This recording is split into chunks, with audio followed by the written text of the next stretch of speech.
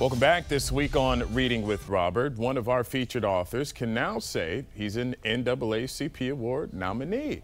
Shawn Martinbrough was the illustrator of the book Like Lava in My Veins, written by Derrick Barnes. Martinbrough brought 10-year-old superhero Bobby Beacon to life. That's who you see here, heavily inspired by black culture. Everything from Bobby's high-top fade to the stylish part on the side tells the story of Bobby's struggles in the classroom. He has a tough time controlling his superpowers until he finds a teacher that understands him.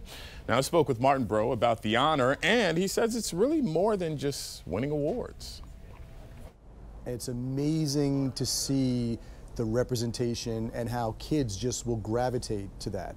And I've just seen kids just stop and look at the cover, just mesmerized. You know, they're just like, wow, just flipping the pages and they're engaged. And to me, that's what it's about. That's the, the, the awards are great, don't get me wrong, but that connection of kids, because I know that creativity inspires creativity.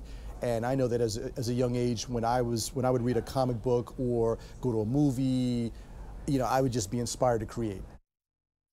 And on Tuesday, we continue to celebrate Black History Month with a look at one of Martinbrough's comic book characters that's actually based on one of our anchors here at 7 News. You won't want to miss that. And if you want me to come and read to one of your classes, make sure you hit us up. Just go to WJLA.com slash read.